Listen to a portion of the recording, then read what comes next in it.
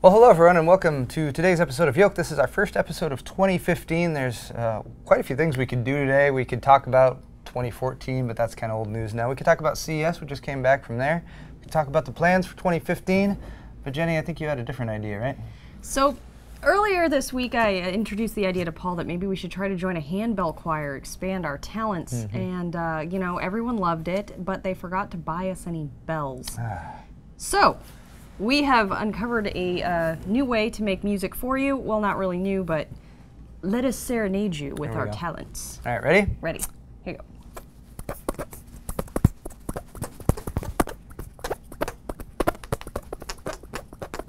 It's good, right? That was Handel's Messiah.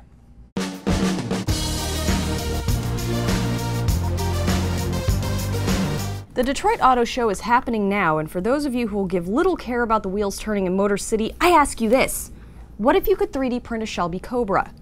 Would you care then?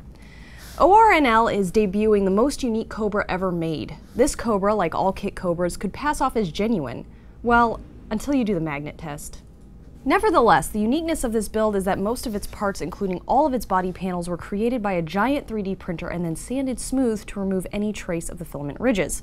Previous 3D printed cars have more closely resembled the rings of a tree or a pile of melting crayons on wheels. Not so here. This opens up a whole new world of possibilities in 3D printed vehicles. Who among you could say, Nah, I'm not really that interested in a Gundam, thanks. Or how about passing on printing yourself an iconic Batmobile? Or a DeLorean with replica flux capacitor? ORNL is bridging the gap between automotive fantasy and reality, not by printing any of the fantasy vehicles I've named, but by allowing automotive designers the freedom to build their fantasy vehicles in the form of working prototypes at a previously unheard of rate. The Shelby Cobra was printed, assembled, and painted in six weeks, and that is including the R&D time to test the sanding and painting process on the printed material. Cutting the design to prototype cost and time down will no doubt lead to incredible innovations in automotive design. I say let's have it, because whomever thought up the Nissan Juke could have benefited from a fast redesign process. One thing we all missed out on at CES was a chance to spend some time with Shihira Aiko. Shihira, Shihira Aiko. Shihira Aiko. However that might be pronounced. Shihira Aiko is Toshiba's demonstration of a female doll that can perform services. That didn't quite sound right either. Despite what you're probably thinking, she's actually meant to improve communication and quality of life for people who can't find someone to talk to. They specify that she would be ideal for dementia patients because they would have no idea that they weren't talking to a real person. This seems like a reasonable solution for a country like Japan, whose population is shrinking. Roughly 25% of residents are considered elderly. This is the largest population of retired and elderly people in the world. Birth rates continue to decline, and that begs the question who's going to sit around and actually talk to all these old people? Here in the United States, we don't face quite the same societal issues thanks to our strategic reserve of bingo halls and Coco's restaurants. The robot girl has been called a geisha by many media outlets, and predictably, it seems that the Western world has only one thing on their mind when presented with an anthropomorphic female robot. Can she cook?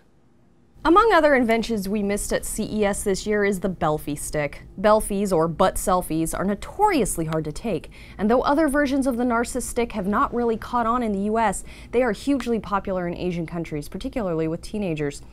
Perhaps we just needed the right kind of selfie stick to capture the selfies we really want to take. Now, before you go slamming the Belfie stick, let me say that this could be the tool that launches you into a new, profitable, and highly respected career as a fitness guru. 20 year old Jen Selter worked at a gym for a little while when she was 18. At that time, she decided to use her Instagram account to inspire people to be fit with a mixture of nauseating cliched motivational sayings and pics of her booty. Two years later, she is not only still profiting from the Belfie business with 5.1 million followers and counting, but the New York Post gave her a fitness column. She has no formal training, no formal education, no credentials, and no fitness certification of any kind. Just Belfies as proof of her workout concept. I think it's safe to say that a Belfie Stick workout DVD will be coming to a $4 bin at your local Walmart in the not too distant future. If you are one of the 939 million Android users running the 4.3 KitKat or older OS, your device is a security risk. the security software developer Rapid7 has discovered that the older OS can be easily exploited through a bug in WebView, the ad software that is enabled on almost every app available on the Google Play Store. To make matters worse, Google is no longer issuing patches for WebView on these older devices. Thanks, Google. At least you let us know that our devices are now offering safe harbor to any malware that sails in on a new app download.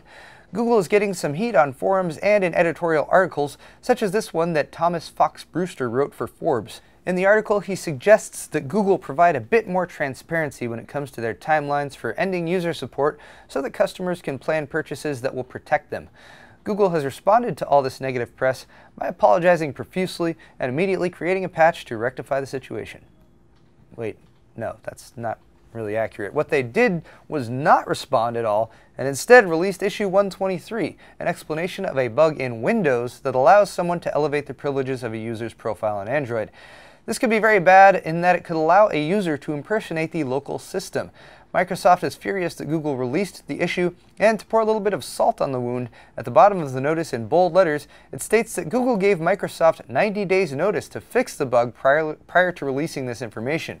How's that for some deflection? So what do we do now then if we're still on 4.3? Is there some kind of smartphone protection we can buy? Like, Steve? Steve, what do we do?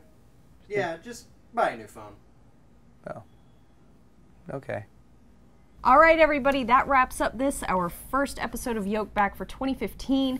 Thank you all so much for joining us here on Newegg TV. We would be nothing without you. Exactly, Jenny. Uh, I'm so excited about this new year. There's so many possibilities, so many opportunities coming up. Uh, the one thing that I've actually just been really excited about was that I now know what a Belfie is. I Awesome. Had no. I saw that at CES and I was like, I don't. I don't want any part of that. But now I know. And you know who is actually really blowing up on the Belfie scene right now? Kyle. Kyle? Uh, oh yes, Kyle's Instagram. He just got butt pictures all over it. So check out Kyle's Instagram uh, if you haven't already, and request more Belfies from Kyle. I think that's what we really need to see more of in this world. we uh, should try to get him sponsored. We should. Sponsored by one of the Belfie stick makers. Yeah, that'd the be Bluetooth, excellent. Bluetooth enabled ones. The other ones are they're stupid. Right. Um, uh, apart from that, though, you guys, uh, we're back to our regular schedule now that uh, CES and the holidays are all over with. So, um, Yolk'd, of course, on Wednesdays. You're watching that right now. We have Alt Tab coming up on Friday. Steve and Kyle are going to be hosting that one.